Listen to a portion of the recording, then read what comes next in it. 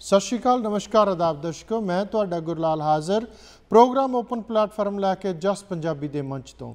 ਦਰਸ਼ਕੋ ਬਹੁਤ ਗੱਲਾਂ ਹੁੰਦੀਆਂ ਨੇ ਜਿਹੜੀਆਂ ਆਪਾਂ ਰੈਗੂਲਰ ਕਰਦੇ ਆ ਜੀ ਅੱਜ ਆਹ ਨਿਊਜ਼ ਹੋ ਗਈ ਅੱਜ ਆਹ ਹੋ ਗਈ ਅੱਜ ਆਹ ਫਲਾਣੇ ਨੇਤੇ ਨੇ ਆਹ ਕਹਿਤਾ ਫਲਾਣੇ ਲੀਡਰ ਨੇ।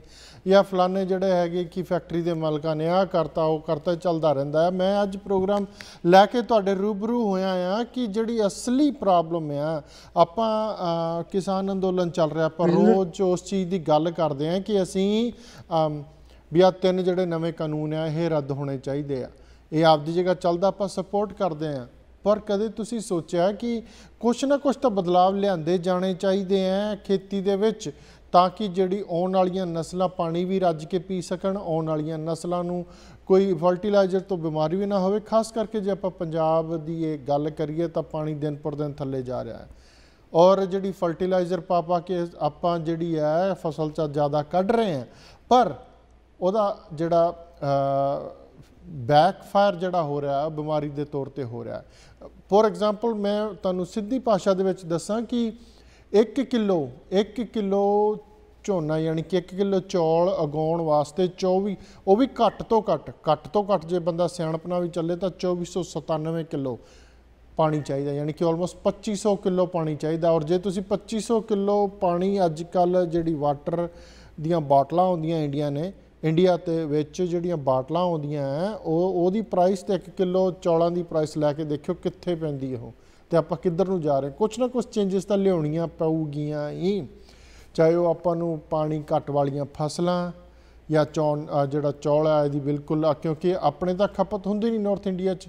ਔਰ ਨਾਰਥ ਪੂਰਾ ਇੰਡੀਆ ਇੰਨਾ ਕੁ ਹੁਣ ਡਿਵੈਲਪ ਹੋ ਚੁੱਕਿਆ ਕਿ ਜਿਹੜੇ ਏਰੀਏ 'ਚ ਚੌਲ ਖਾਦੇ ਜਾਂਦੇ, ਉੱਥੇ ਉਹਨਾਂ ਦੀ ਪੈਦਾਵਾਰ ਵੀ ਹੋਣ ਲੱਗ ਪਈ ਹੈ ਉਸ ਤੋਂ ਬਾਅਦ ਆਪਾਂ ਗੱਲ ਕਰਦੇ ਹਾਂ ਦਰਸ਼ਕੋ ਕਿ ਕੱਲਾ ਉਹ ਇਹੀ ਨਹੀਂ ਹੈ, ਡੀਜ਼ਲ ਕਿੰਨਾ ਮਹਿੰਗਾ ਹੋ ਰਿਹਾ ਜੇ ਆਪਾਂ ਟੋਟਲ ਡੀਜ਼ਲ ਦੀ ਖਪਤ ਦੇਖੀਏ ਤੇ ਉਹਦੇ ਬਰਾਬਰ 1 ਕਿੱਲੇ ਦੀ ਫਸਲ ਦਾ ਮੁੱਲ ਦੇਖੀਏ ਤੇ ਫਰਟੀਲਾਈਜ਼ਰ ਦਾ ਮੁੱਲ ਦੇਖੀਏ, ਉਤੋਂ ਪਾਣੀ ਦਾ ਦੇਖੀਏ ਤਾਂ ਕਿਸਾਨ ਬਹੁਤ ਘਾਟੇ 'ਚ ਕੁਛ ਨਾ ਕੁਛ ਚੇਂਜਸ ਤਾਂ ਲਿਆਉਣੀਆਂ ਪਊਗੀਆਂ, ਚਾਹੇ ਉਹ ਆਪਾਂ ਜਿੱਦਾਂ ਮਰਜ਼ੀ ਕਰ ਲਈਏ।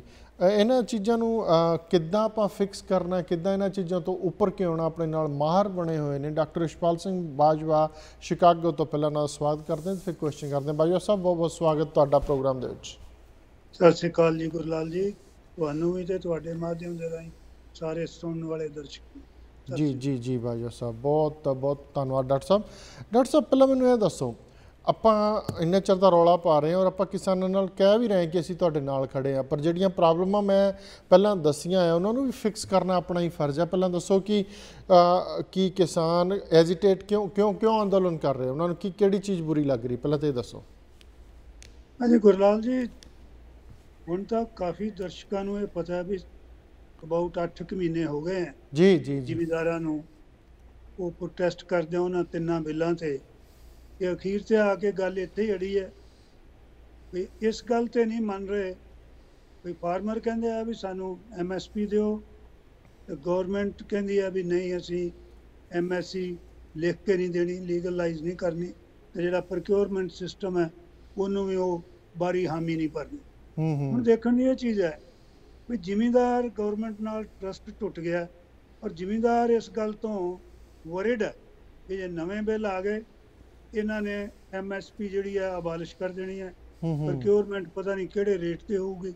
ਆਲਰੇਡੀ ਉਹ ਗਰੀਬ ਆਦਮੀ ਹੈ। ਉਹ ਸਮਝਦੇ ਆ ਵੀ ਅਸੀਂ ਹੋਰ ਗਰੀਬੀ 'ਚ ਚਲੇ ਜਾਵਾਂਗੇ। ਔਰ ਵੇਖੋ ਜ਼ਿਮੀਂਦਾਰ ਦੀ ਜੇ ਦੇਖਿਆ ਜਾਏ ਤੇ ਕੋਈ ਵਿਚਾਰਿਆਂ ਦੀ ਲੰਮੀ ਚੌੜੀ ਹਸਤੀ ਨਹੀਂ ਹੈ ਗਵਰਨਮੈਂਟ ਦੇ ਅੱਗੇ। ਇਹ ਤਾਂ। ਗਵਰਨਮੈਂਟ ਨੂੰ ਹੀ ਨਾ ਗਵਰਨਮੈਂਟ ਕਿਸਾਨਾਂ ਦਾ ਫੇਵਰ ਕਰੇ ਐਟ ਦਾ ਸੇਮ ਟਾਈਮ ਉਹਨਾਂ ਨੂੰ ਹਰਟ ਨਾ ਕਰੇ। ਜੋ ਵਾਜਬ ਬਣਦਾ ਉਹ ਚੀਜ਼ ਕਰਨੀ ਚਾਹੀਦੀ।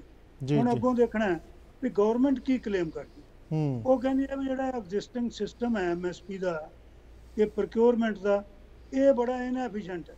ਇਹ। ਪੂਰਾ ਇਹ ਇਹ ਠੀਕ ਨਹੀਂ ਹੈ। ਇਹ ਨਾਲੇ ਯੂਨੀਫਾਰਮ ਵੀ ਨਹੀਂ ਹੈ ਸਾਰੇ ਕੰਟਰੀ 'ਚ।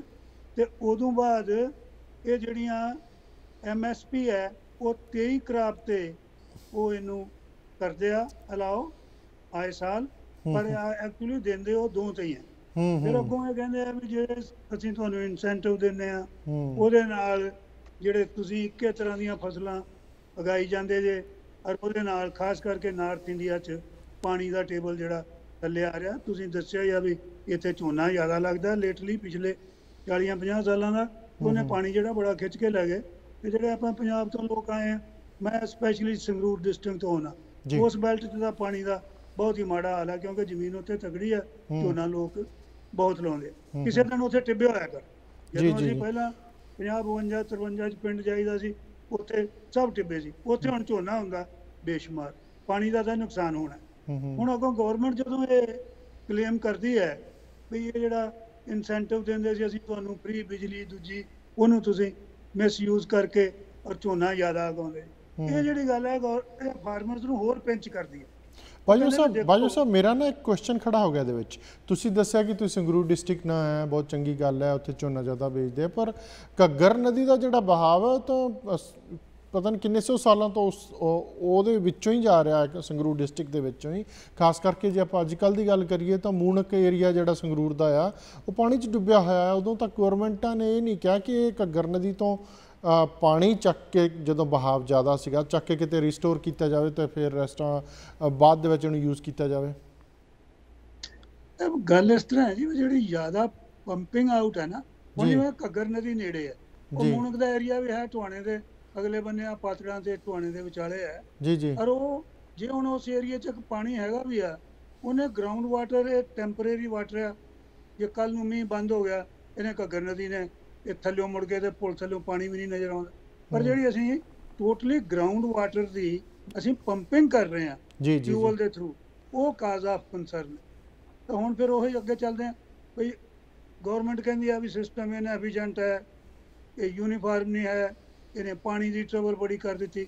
ਪਰ ਉਹ ਫਾਰਮਰਸ ਨੂੰ ਉਹਦੇ ਤੇ ਬਲੇਮ ਕਰਦੇ ਆ ਵੀ ਅਸੀਂ ਇਹਨੂੰ ਸਿਸਟਮ ਨੂੰ ਬਦਲ ਦਿਆਂਗੇ ਤੁਹਾਡਾ ਪਾਣੀ ਜੀ ਜੀ। ਕਿਸਾਨ ਅੱਗੋਂ ਇਹ ਪੁੱਛਦੇ ਆ ਵੀ ਜਨਾਬ ਸਾਨੂੰ ਇਹ ਦੱਸੋ ਵੀ ਸਾਨੂੰ ਇਹ ਪਾਣੀ ਖਤਮ ਕਰਨ ਤੇ ਲਾਇਆ ਕਿੰਨੇ? ਜੀ ਜੀ ਜੀ। ਪੁਰਾਣੀ ਹੈ? ਆਪਣੇ ਸਾਰੇ ਦਰਸ਼ਕਾਂ ਨੂੰ ਪਤਾ ਹੈ ਹੁਣ ਤਾਂ ਬੜੀ ਡਿਸਕਸ਼ਨ ਹੋਈ ਅੱਠਾਂ ਮਹੀਨੇ 'ਚ। ਤੇ ਜਿਹੜੀ ਗ੍ਰੀਨ ਰੈਵੋਲੂਸ਼ਨ ਸੀਗੀ 1960 ਦੀ 70 ਦੀ ਉਹ ਚੱਲੀ। ਉਹਦਾ। ਮੇਨ ਮਤਲਬ ਇਹ ਸੀ ਵੀ ਇੰਡੀਆ ਕੋਲ ਫੂਡ ਨਹੀਂ ਸੀ। ਉਹ ਗਵਰਨਮੈਂਟ ਨੇ ਉਹਨਾਂ ਨੂੰ ਰਿਕੁਐਸਟ ਕੀਤੀ। ਔਰ ਉਹਨਾਂ ਨੇ ਆਪਣਾ ਜਿਹੜਾ ਉਹ ਖੇਤੀ ਨੂੰ ਉਗਾਇਆ ਝੋਨਾ ਲਾਇਆ ਕਣਕ ਲਾਈ ਅੱਗੇ ਚੱਲ ਕੇ ਦੇਖਾਂਗੇ ਕੀ ਫ਼ਰਕ ਪਿਆ। ਪਰ। ਉਹਦੇ ਨਾਲ ਜਿਵੇਂ ਤੁਸੀਂ ਕਿਹਾ ਵੀ ਉਹ ਪਾਣੀ ਬਹੁਤ ਖਿੱਚਿਆ ਗਿਆ ਤੇ। ਗਵਰਨਮੈਂਟ ਉਹ ਕਿਸਾਨ ਇਹ ਕਹਿੰਦੇ ਆ ਵੀ ਸਾਡਾ ਇਹਦੇ 'ਚ ਕੋਈ ਕਸੂਰ ਨਹੀਂ ਹੈ ਤੁਹਾਡੀ ਪਾਲਿਸੀ ਸੀ ਅਸੀਂ ਪੂਰੀ ਕਰਦੇ ਰਹੇ ਤਾਂ ਇੱਕ ਇੱਕ ਮਿੰਟ ਦਿੰਦੇ ਸਾਹਿਬ। ਫਿਰ ਮੇਨ ਪ੍ਰੋਬਲਮ ਡਿਫੀਸ਼ੀਐਂਸੀ ਇਹ ਕਣਕ ਤੇ ਝੋਨੇ ਦੀ ਹੈ ਝੋਨੇ ਨੇ ਡਿਫੀਸ਼ੀਐਂਸੀ ਖੜੀ ਕੀਤੀ ਹੈ ਦੇਖੋ ਜੀ ਜ਼ਿਆਦਾ ਪਾਣੀ ਦੀ ਤਾਂ ਬਹੁਤ ਐਕਸੈਸਿਵ ਝੋਨਾ ਆਪਣੇ ਲੱਗਣ ਲੱਗਿਆ ਉਹਨੇ ਡੈਫੀਨਿਟਲੀ ਕੀਤੀ ਡੈਫੀਨਿਟਲੀ ਕੀਤੀ ਹੈ ਸੋ ਇਸ। ਕਰਕੇ ਗਵਰਨਮੈਂਟ ਅੱਗੋਂ ਹੋਰ ਵੀ ਕਹਿੰਦੀ ਹੈ ਜੀ। ਜਾਂ ਤਾਂ ਸੋਲੂਸ਼ਨ ਕੋਈ ਚੰਗਾ ਦੇਵੇ ਉਹ ਕਹਿੰਦੇ ਅਸੀਂ free trade open market one market country 'ਚ ਬਣਾ ਦਿਆਂਗੇ। ਹੂੰ, ਹੁਣ। ਪ੍ਰਾਈਵੇਟ ਜਿਹੜਾ ਬੰਦਾ ਹੈਗਾ ਜੇ ਆਪਾਂ ਉਹਨੂੰ ਵੀ ਵੇਖੀਏ ਤਾਂ ਬਿਹਾਰ 'ਚ 2006 'ਚ ਅਬਾਲਿਸ਼ ਹੋ ਗਈ ਸੀ ਮੰਡੀ। ਜੀ। ਉੱਥੇ ਜਿਹੜੀਆਂ ਮੰਡੀਆਂ ਦੇ 54 ਯਾਰਡਸ ਹੈ ਉਹ ਜਾ ਕੇ ਵੇਖਣ ਵਾਲੇ ਆ ਉੱਥੇ। ਹੁਣ ਇੱਥੇ ਇਹਨਾਂ ਦੀ ਭਾਈਵਾਲ ਗਵਰਨਮੈਂਟ ਹੈ ਨਤੀਸ਼ ਦੇ ਨਾਲ ਬੀਜੇਪੀ ਦੀ। ਉਹ। ਉੱਥੇ ਦੇਖ ਲੈਣ ਉਹ ਉਹ ਆਨੈਸਟਲੀ ਦੱਸ ਦੇਣ ਕਿ ਅਗਰ ਬਿਹਾਰ 'ਚੋਂ ਵਰਕਆਊਟ ਹੋ ਗਿਆ ਤਾਂ ਸਾਡੇ ਪੰਜਾਬ ਨਾਰਥ ਇੰਡੀਆ 'ਚ ਵੀ ਲਾ ਦੇਣ। ਸਾਰੇ ਕੰਟਰੀ 'ਚ ਲਾ ਦੇਣ। ਪਰ ਜਿਹੜੀਆਂ ਸਟੇਟਾਂ ਦੇ ਵਿੱਚ ਐਮਐਸਪੀ ਹੈ ਨਹੀਂਗੀ ਉੱਥੇ ਹਾਲ ਪੰਜਾਬ ਹਰਿਆਣੇ ਨਾਲੋਂ ਵੀ ਮਾੜਾ। ਸੋ ਇਹ ਆਪਣੇ ਫਾਰਮਰਸ ਨੂੰ ਇਸ ਚੀਜ਼ ਦੀ ਬੜੀ ਵਰੀ ਹੈ। ਉਹ ਇਸੇ ਕਰਕੇ ਜਿਹੜੀ ਐਜੀਟੇਸ਼ਨ ਹੈ ਇਹ ਕਿਸੇ ਪਾਸੇ ਇਹਦੇ ਲੱਗ ਨਹੀਂ ਰਹੀ ਜੀ। ਡਾਕਟਰ ਸਾਹਿਬ ਆ ਬ੍ਰੇਕ ਤੋਂ ਪਹਿਲਾਂ ਨਾ ਇੱਕ ਮੇਰਾ ਕੁਐਸਚਨ ਹੈ। ਜਿੱਦਾਂ ਹੁਣੀ ਤੁਸੀਂ ਮੈਂਸ਼ਨ ਕੀਤਾ ਮੈਂ ਅੱਗੇ ਵੀ ਸਟੱਡੀ ਕਰ ਰਿਹਾ ਸੀ। 2006 ਦੇ ਵਿੱਚ ਸਰਕਾਰ ਡਾਕਟਰ ਮਨਮੋਹਨ ਸਿੰਘ ਦੀ ਸੀ। ਉਹਨਾਂ ਟਾਈਮਾਂ ਦੇ ਵਿੱਚ ਬਿਹਾਰ ਦੇ ਵਿੱਚ ਮੰਡੀ ਜਿਹੜੀ ਆ ਅਬਾਲਿਸ਼ਮੈਂਟ ਹੋਈ ਉੱਥੇ। ਤੇ ਆਪਾਂ ਫਿਰ ਜਿਹੜਾ ਕਾਨੂੰਨ ਆਪਾਂ ਆਪਾਂ ਇਹ ਗੱਲ ਕਹਿੰਦੇ ਹਾਂ ਵੀ ਜੇ ਆਪਾਂ ਕਹਿੰਦੇ ਆ ਕਿ ਕਿਸੇ ਦਾ ਨੁਕਸ ਕੱਢਦੇ ਉਹ ਕੱਲਾ ਇੱਕ ਗਵਰਨਮੈਂਟ ਦਾ ਤਾਂ ਨਹੀਂ ਨਿਕਲਦਾ ਫਿਰ। ਕਿਤੇ ਨਾ ਕਿਤੇ ਇਹ ਸਾਰਾ ਰਲ ਮਿਲ ਕੇ ਹੀ ਚੱਲਦਾ ਉਹ ਕੰਮ। ਕਿਤੇ ਨਾ ਕਿਤੇ ਕਮੀਆਂ ਤਾਂ ਉਸ ਗਵਰਨਮੈਂਟ ਦੀਆਂ ਵੀ ਰਹੀਆਂ ਹੋਣਗੀਆਂ। ਨਹੀਂ ਇਹ- ਤਾਂ ਬਿਲਕੁਲ ਇਹ 'ਚ ਪੱਕੀ ਗੱਲ ਹੈ। ਜਿਹੜੀਆਂ ਸਕਸੈਸਿਵ ਗਵਰਨਮੈਂਟਸ ਆਈਆਂ ਹੈ ਜੀ। ਇਹ ਇੱਕ ਕੰਟੀਨਿਊਸ ਫੇਲਰ ਆਫ ਪਾਲਿਸੀ ਹੈ। ਜਿਹੜੇ ਐਕਸਪਰਟ ਸੀ ਜਿਹੜੇ ਸਾਇੰਟਿਸਟ ਸੀ ਜਿਹੜੇ ਜੀਓਲੋਜੀਕਲ ਜੀਓਲੋਜਿਸਟ ਸੀਗੇ ਉਹ ਤਾਂ। ਪਾਣੀ ਤੋਂ ਇਹਨਾਂ ਨੂੰ ਦੱਸਦੇ ਰਹੇ ਉਹਨਾਂ ਦੀ ਆਪਣੀ ਡਿਊਟੀ ਹੈ ਐਕਸਪਰਟ ਨੇ ਤਾਂ ਕਰੀ ਜਾਣੀ ਉਹ। ਰეკਮੈਂਡੇਸ਼ਨਸ ਵੀ ਦਿੰਦੇ ਰਹੇ।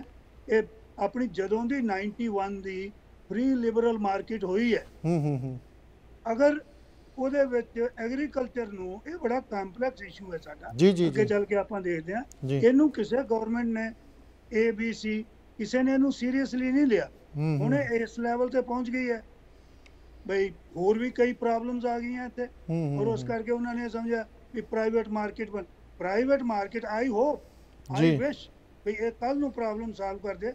ਫਾਰਮਰਸ ਨੂੰ ਕੋਈ ਇਹਦੇ ਚ ਕੋਈ ਐਜੀਟੇਸ਼ਨ ਨੂੰ ਲੰਮਾ ਕਰਨ ਚ ਕੋਈ ਫਾਇਦਾ ਨਹੀਂ ਹੈ। ਘਰੋਂ ਬੇਕਾਰ ਹੋਏ ਬੈਠੇ ਹੋ। ਅਗਰ ਪਾਲਿਸੀ ਹੋਵੇ ਹੁਣ ਗਵਰਨਮੈਂਟ ਨੇ ਰੈਗੂਲੇਸ਼ਨ ਵੀ ਖਤਮ ਕਰ ਦੇਣੇ ਸਭ। ਕੁਝ ਕਰ ਦੇਣਾ ਜਾਂ ਤਾਂ ਕੋਈ ਪ੍ਰਾਈਵੇਟ ਵਾਲੇ ਨੂੰ ਦੱਸਿਆ ਤਾਂ ਪ੍ਰਾਈਵੇਟ ਮੇਰੇ ਪਿੰਡ ਦੀ ਸੜਕ ਕਿਉਂ ਬਣਾਉਗੀ ਭਾਜੀ?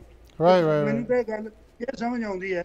ਆਪਾਂ ਇੱਥੋਂ ਬਾਜਵਾ ਸਾਹਿਬ ਆਪਾਂ ਰੁਕਦੇ ਹਾਂ ਇੱਕ ਛੋਟੀ ਜਿਹੀ ਬ੍ਰੇਕ ਲਈ ਛੋਟੀ ਜਿਹੀ ਬ੍ਰੇਕ ਲੈ ਕੇ ਆਪਾਂ ਇੱਥੋਂ ਹੀ ਕੰਟੀਨਿਊ ਕਰਦੇ ਹਾਂ। ਦਰਸ਼ਕੋ ਸਾਡੇ ਨਾਲ ਬਣੇ ਹੋਏ ਨੇ ਮਾਣਯੋਗ ਅ, ਰਸ਼ਪਾਲ ਸਿੰਘ ਬਾਜਵਾ ਡਾਕਟਰ ਸਾਹਿਬ ਸ਼ਿਕਾਗੋ ਤੋਂ ਬਹੁਤ ਚੰਗਾ ਐਲਾਬਰੇਟ ਕਰ ਰਹੇ ਹਾਂ ਆਪਾਂ ਰੈਗੂਲਰ ਗੱਲ ਨਹੀਂ ਕਰ ਰਹੇ ਆਪਾਂ ਗੱਲ ਕਰ ਰਹੇ ਹਾਂ ਵੀ ਕਿਤੇ ਨਾ ਕਿਤੇ ਤਾਂ ਆਪਾਂ ਨੂੰ ਆਪਦੇ ਆਪ ਨੂੰ ਐਡਜਸਟ ਕਰਨਾ ਪਊਗਾ। ਨਵੀਆਂ ਫਸਲਾਂ ਤੇ ਘੱਟ ਪਾਣੀ ਯੂਜ਼ ਕਰਨ ਤੇ ਘੱਟ ਖਾਦਾਂ ਯੂਜ਼ ਹੋਣ ਤਾਂ ਕਿ ਆਉਣ ਵਾਲੀਆਂ ਨਸਲਾਂ ਸਿਕਿਉਰ ਰਹਿਣ।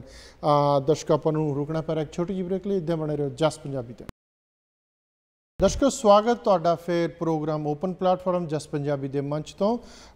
ਅੱਜ ਆਪਣੇ ਨਾਲ ਬਣੇ ਹੋਏ ਨੇ ਡਾਕਟਰ ਇਸ਼ਪਾਲ ਸਿੰਘ ਬਾਜਵਾ। ਆਪਾਂ ਗੱਲ ਕਰ ਰਹੇ ਸੀ ਫਸਲਾਂ ਤੇ ਨਸਲਾਂ ਦੀ, ਕਿ ਆਪਾਂ ਕੀ ਕਰ ਸਕਦੇ ਹਾਂ।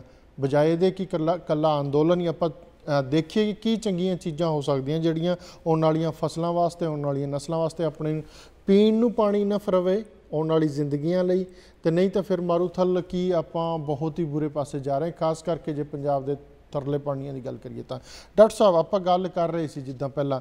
ਹੁਣ ਮੇਰਾ ਕੁਐਸਚਨ ਇਹ ਹੈ ਕਿ ਸੋਲੂਸ਼ਨ ਕੀ ਹੈ? ਜੇ ਐਡਜਸਟ ਕਰਦੇ ਆ ਕ੍ਰਾਪ ਨੂੰ ਐਡਜਸਟ ਕਰਦੇ ਆ ਆਪਾਂ ਕੋਈ ਬਦਲਵੀਂ ਫਸਲ ਵੱਲ ਜਾਂਦੇ ਆ ਲੋਕ ਮੱਕੀ ਵੱਲ ਜਾ ਰਹੇ ਆ ਹੋ ਸਕਦਾ ਮੱਕੀ ਦੀ ਡਿਮਾਂਡ ਘਟ ਜੇ ਟਾਈਮ ਪਾ ਕੇ। ਉਹਦੇ ਵਿੱਚ ਤੁਸੀਂ ਇਹ ਦੱਸੋ ਕਿ ਟੋਟਲ ਇਹਦੇ ਵਿੱਚ ਕੀ ਸੋਲੂਸ਼ਨ ਕੀ ਹੋ ਸਕਦਾ ਇਹਦਾ? ਦੇਖੋ ਜੀ ਸੋਲੂਸ਼ਨ ਇਹਦੇ ਐਕਸਪਰਟਸ ਨੇ ਬਹੁਤ ਦੱਸੇ ਜੀ ਜੀ। ਇਹ ਪੰਜ ਛੇ ਏਰੀਆ ਹੈ ਫਿਕਸ ਕਰਨ ਵਾਲੇ।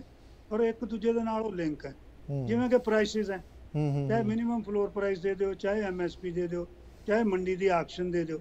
ਆਕਸ਼ਨ ਕਿਤੋਂ ਤੋਂ ਸ਼ੁਰੂ ਹੋਣੀ ਚਾਹੀਦੀ ਹੈ ਨਾ ਗੁਰਲਾਲ ਜੀ? ਜੀ ਜੀ ਜੀ ਜੀ ਦੇਖੋ ਅਸੀਂ ਵੀ ਮੰਡੀਆਂ 'ਚ ਦੇਖਿਆ ਹੈ ਕੋਈ ਇੱਕ ਮਿਨੀਮਮ ਪ੍ਰਾਈਸ ਇੱਥੇ ਆਕਸ਼ਨ 'ਚ ਲੱਗਦੀ ਹੈ ਉਹਦੇ। ਉੱਤੇ ਕੰਮ ਚੱਲ ਹੂੰ। ਨੰਬਰ 2 ਇਹਦੇ ਜਿਹੜੀ ਪ੍ਰੋਕਿਉਰਮੈਂਟ ਪਾਲਿਸੀ ਹੈ ਉਹ ਐਡਜਸਟ ਕਰਨ ਵਾਲੀ ਫਿਰ ਜਿਹੜੀ ਪ੍ਰੋਡਕਸ਼ਨ ਹੈ ਇਹ ਕ੍ਰਾਪਸ ਦੀ ਉਹ ਕਰਨ ਵਾਲੀ ਹੂੰ। ਸਭ ਤੋਂ ਵੱਡੀ ਇੰਪੋਰਟੈਂਟ ਚੀਜ਼ ਹੈ ਇਹਦੇ 'ਚ ਪੋਲੀਟੀਕਲ ਇਨਫਲੂਐਂਸ ਹੈ ਜਿਹੜਾ ਵੋਟ ਪੋਲਿਟਿਕਸ ਨਹੀਂ ਖੇਡੀ ਜਾਣੀ ਚਾਹੀਦੀ। ਹੂੰ। ਉਸ ਤੋਂ ਬਾਅਦ ਜਦੋਂ ਇਹ ਸਭ ਕੁਝ ਹੋ ਜਾਂਦਾ ਹੈ ਤੇ ਬਹੁਤ ਸਾਰੇ ਫਾਰਮਰ ਤਾਂ ਚਾਹੁੰਦੇ ਆ ਜਿਹੜੇ ਗਰੀਬ ਹੈ ਵੀ ਅਸੀਂ ਇਹਦੇ 'ਚ ਹੋਰ ਨਹੀਂ ਰਹਿਣਾ ਚਾਹੁੰਦੇ। ਪਰ ਉਹ ਜਾਣ ਕਿੱਥੇ? ਤੋਂ ਗਵਰਨਮੈਂਟ ਨੂੰ ਇਹਦੀ ਐਗਜ਼ਿਟ ਪਾਲਿਸੀ ਜਿਹੜੀ ਹੈ ਉਹ ਪਲਾਨ ਕਰਨੀ ਪੈਣੀ। ਹੁਣ। ਪ੍ਰਾਈਵੇਟ ਇੰਡਸਟਰੀ ਨੂੰ ਅਗਰ ਦੇਖਿਆ ਜਾਏ ਜੋ ਇਕਾਨਮੀ ਤੋਂ ਇਹ ਲਿਬਰਲ ਇਕਾਨਮੀ ਇੰਡੀਆ ਦੀ ਹੋਈ ਹੈ ਤੇ ਇੰਡਸਟਰੀ ਇੰਨੀ ਨਹੀਂ ਲੱਗੀ ਬਿਲਕੁਲ ਨਹੀਂ ਲੱਗੀ ਜਿਹਦੇ ਵਿੱਚ ਸਾਡੇ ਲੋਕ ਜਿਹੜੀ ਪਾਪੂਲੇਸ਼ਨ ਵਧੀ ਹੈ ਅਨਸਕਿਲਡ ਬਹੁਤ ਹੈ ਇਲਿਟਰੇਟ ਬਹੁਤ ਹੈ ਲੈਸ ਐਜੂਕੇਟਡ ਹੈ ਉਹਨਾਂ ਨੇ ਨੌਕਰੀ ਕਿੱਥੇ ਕਰਨੀ ਅੱਜ. ਤੱਕ ਪ੍ਰਾਈਵੇਟ ਦਾ ਕੋਈ ਬੜਾ ਵੱਡਾ ਹੈ ਨਹੀਂ ਆ ਜੋ ਅੱਗੇ ਆਪਾਂ ਕਈ ਵਾਰੀ ਡਿਸਕਸ ਕੀਤਾ ਜਿੰਨੇ ਪਰਸੈਂਟ ਲੋਕ ਵਿਹਲੇ ਹੋਏ ਆ। ਉਹਨਾਂ ਨੂੰ ਨੌਕਰੀ ਨਹੀਂ ਮਿਲੀ ਪਰ। ਬਾਕੀ ਇਹ ਚੀਜ਼ਾਂ ਜਿਹੜਾ ਸਿਸਟਮ ਹੈ ਇਹ ਵੈਸਟ 'ਚ ਟਰਾਈ ਹੋ ਚੁੱਕਾ ਹੈ ਜੀ ਜੀ ਜੀ ਨਾ ਤਾਂ ਇੱਥੇ ਪ੍ਰਾਈਸ ਵਧੀ ਹੈ ਜ਼ਿਮੀਂਦਾਰ ਦੀ ਨਾ ਕੰਜ਼ਿਊਮਰ ਵਾਸਤੇ ਪ੍ਰਾਈਸ ਘਟੀ ਹੈ ਹੂੰ। ਜਿਹੜੀਆਂ ਬਿਗ ਕਾਰਪੋਰੇਟਸ ਹੈ ਉਹ ਜ਼ਰੂਰ ਰਿਚ ਹੋਈ ਹੈ। ਫਾਰਮਰਸ ਆਪਾਂ ਅੱਗੇ ਵੀ ਦੱਸਿਆ ਸੀ ਅਮਰੀਕਾ 'ਚ ਹੀ ਬੜੀ ਗਿਣਤੀ ਘਟ ਗਈ। ਹੂੰ ਹੂੰ ਹੂੰ। ਹਾਂਜੀ? ਜੀ। ਤੋ ਇਸ ਕਰਕੇ ਇਹ ਇਹਦੇ ਪ੍ਰੋਬਲਮ ਹੈਗੇ। ਹੁਣ ਤੱਕ ਆਪਾਂ ਚੱਲੇ ਸੀ। ਮੇਨ ਪ੍ਰੋਬਲਮ ਇਹਦੇ ਚੈੱਕ ਉਹਨਾਂ ਨੇ ਦੱਸੀ ਆ ਹੂੰ ਹੂੰ। ਬਈ ਜਿਹੜਾ ਕ੍ਰਾਪ ਪੈਟਰਨ ਹੂੰ ਉਹਨੂੰ ਅਗਰ ਐਡਜਸਟ ਕਰਕੇ ਦੇਖਿਆ ਜਾਏ ਤੇ ਆਪਾਂ ਉਹਨੂੰ ਦੇਖਦੇ ਹਾਂ। ਇਹ ਰਾਈਸ ਦੇ 1970 ਇਹ ਜਿਹੜਾ ਕ੍ਰਾਪ ਪੈਟਰਨਸ ਹੈ ਰਾਈਸ ਦੇ ਫੇਵਰ ਚ ਕਿਉਂ ਜਾ ਰਿਹਾ ਬਾਜਵਾ ਸਾਹਿਬ ਜ਼ਿਆਦਾ? ਦੇਖੋ ਆਪਾਂ ਹੁਣ ਉੱਥੇ ਆਉਣ ਲੱਗੇ ਹਾਂ। ਜੀ ਜੀ ਜੀ। 1970 71 ਚ ਤੁਸੀਂ ਪੰਜਾਬ ਦੀ ਐਗਜ਼ਾਮਪਲ ਲੈ ਲਓ। ਜੀ। ਇਹ ਪੰਜਾਬ ਦੀ ਐਗਜ਼ਾਮਪਲ ਚ ਜਿਹੜੀ ਰਾਈਸ ਕਲਟੀਵੇਸ਼ਨ ਸੀ ਉਹ ਬੜੀ ਇਹਦੇ ਚ ਐਕਸੈਸਿਵ ਹੋ ਗਈ। ਜੀ। ਉਦੋਂ ਵੀਟ ਉੱਥੇ ਹੁੰਦੀ ਸੀ 1970 ਚ 50% ਜੀ ਜੀ ਜੀ, ਰਾਈਸ ਸੀਗਾ 8% ਜੀ। ਔਰ ਜਿਹੜੀਆਂ 37% ਪਾਰਟ ਸੀ ਫਸਲਾਂ ਦਾ ਉਹਦੇ ਵਿੱਚ ਸੀ ਚਣੇ ਬਾਜਰੀ ਮਕਈ ਗਰਾਊਂਡਨਟ ਕਾਟਨ ਪਰ ਜਦੋਂ 2014-15 ਚ ਦੇਖੀਏ ਵੀਟ ਤਾਂ ਉੱਥੇ ਹੀ ਹੈ ਹੂੰ, 50 ਦੀ 50 ਔਰ ਜਿਹੜਾ ਰਾਈਸ ਹੈ ਉਹ 41% ਹੋ ਗਿਆ। ਉਹ ਜਿਹੜਾ 33% ਵਧਿਆ ਹੈ ਉਹ ਦੂਜੀਆਂ ਆਲਟਰਨੇਟ ਕੋਰਸ ਗਰੋਨ ਫਸਲਾਂ ਨੂੰ ਖਾ ਗਿਆ। ਜੀ। ਕਿਉਂਕਿ ਗਵਰਨਮੈਂਟ ਨੇ ਮੌਕੇ ਦੀ ਮੌਕੇ ਗਵਰਨਮੈਂਟ ਉਹਨਾਂ ਚੀਜ਼ਾਂ ਦਾ ਕੋਈ ਭਾਅ ਨਹੀਂ ਮਿਥਿਆ। ਰਾਈਸ ਦਾ ਤੇ ਕਣਕ ਦਾ ਭਾਅ ਮਿਸ ਦਿੱਤਾ। ਕਿਉਂਕਿ ਇੰਡੀਅਨ ਗਵਰਨਮੈਂਟ ਨੂੰ ਆਪਣੇ ਲੋਕਾਂ ਨੂੰ ਖਵਾਉਣ ਵਾਸਤੇ ਬਹੁਤ ਫੂਡ ਦੀ ਲੋੜ ਸੀ। ਔਰ ਇਹ ਚੋਂ ਇੱਕ ਵੱਡਾ ਚੀਜ਼ ਹੈ ਕਿ ਜਿਹੜੀ ਆਮ ਲੋਕਾਂ ਨੂੰ ਮੈਂ ਦੱਸਣੀ ਚਾਹੁੰਦਾ ਜੀ। ਕਿ ਨਾਰਥ ਇੰਡੀਆ ਕਿਉਂ ਚੁਣਿਆ ਗਿਆ? ਸਨ 60 ਚ ਇਹ ਕਿਉਂ। ਚੁਣਿਆ ਗਿਆ? ਤੁਸੀਂ ਗ੍ਰੀਨ ਰੈਵੋਲੂਸ਼ਨ ਦੇ ਟਾਈਮ ਦੀ ਗੱਲ ਕਰ ਰਹੇ ਜੀ। ਕਿਉਂਕਿ ਈਵਨ ਬ੍ਰਿਟਿਸ਼ ਗਵਰਨਮੈਂਟ ਦੇ ਥੱਲੇ ਜਦੋਂ ਕਨਾਲ ਇਰੀਗੇਸ਼ਨ ਪ੍ਰੋਜੈਕਟ ਲੱਗੇ। ਜੀ। ਇੱਥੇ ਮਾਨਸੂਨ ਵੀ ਇਸ ਏਰੀਆ ਚੰਗੀ। ਜਿਹੜੀ ਸਾਡੀ ਜ਼ਮੀਨ ਸੀਗੀ ਜੀ ਜੀ ਉਹ ਪੱਧਰੀ ਸੀ ਦੂਜਿਆਂ ਨਾਲੋਂ ਜ਼ਿਆਦਾ ਫਰਟਾਈਲ ਸੀਗੀ। ਹੂੰ। 30% ਲੈਂਡ ਇਸ ਏਰੀਆ ਦੇ ਵਿੱਚ ਅੱਜ ਦੇ ਦਿਨ 'ਚ ਟੋਟਲ ਇੰਡੀਆ ਦੀ ਲੈਂਡ 'ਚੋਂ ਹੈ। 45% ਅੱਜ ਕੱਲ ਇੱਥੇ ਲੋਕ ਰਹਿ ਰਹੇ ਆ। ਜੀ। ਦੇ ਟੋਟਲ ਪਾਪੂਲੇਸ਼ਨ ਦੇ। ਹਾਂਜੀ ਟੋਟਲ ਪਾਪੂਲੇਸ਼ਨ ਆਫ ਇੰਡੀਆ ਦੇ ਪੰਜਾਬ, 45% ਆਪਾਂ ਗੱਲ ਕਰ ਰਹੇ ਜੀ। ਰਾਜਸਥਾਨ। ਔਰ ਜਿਹੜਾ ਇਹ ਫੂਡ ਪ੍ਰੋਡਿਊਸ ਕਰ ਰਿਹਾ ਇਹ 30% ਕੰਟਰੀ ਦਾ ਫੂਡ ਕਰ ਰਿਹਾ। ਸੋ। ਗਵਰਨਮੈਂਟ ਨੂੰ ਲੋੜ ਸੀ ਉਹਨਾਂ ਨੇ ਇੱਥੇ ਝੋਨਾ ਲਿਆ ਕੇ ਲਾਤਾ। ਐਮਐਸਪੀ ਮਿਲਦੀ ਸੀ ਲੋਕ ਇਹਦੇ 'ਚ ਲੱਗ ਗਏ।